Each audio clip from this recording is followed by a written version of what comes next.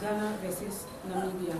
You have here the head coach of the Namibian side, and just open the floor for questioning so that. Um, um, but first, I will ask you for your initial impression on the game before other questions come. So, coach, yeah, I think it's going to. Good afternoon or good evening, first and foremost, uh, to members of the media and people at home watching.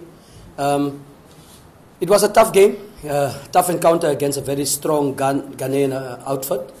And uh, today we felt the wrath of, uh, of, of, of, Ghana, uh, of the Black Queens as they are known. Uh, but we are the brave gladiators.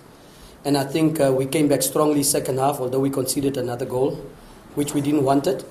But nevertheless, we're still in this tie. I don't think that we're totally out of it.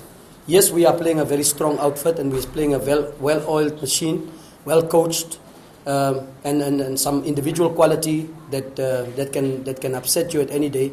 But we have a home game, another 90 minutes in Johannesburg or in Pretoria, where we will uh, have to redeem ourselves if we want to go through. In order to go to the uh, Women African uh, uh, Cup of Nations, you need to beat the best. And Ghana's one of the best. And today we've, uh, we played against one, a very strong side.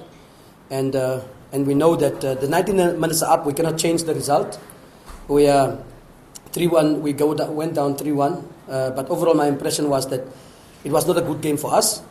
Um, we didn't play as well as we should, uh, or, or, we expected the team to play. But um, I, I think, and I'm sure and I'm confident to say that if Ghana's going to go through, it's going to be a fight. Questions? Questions?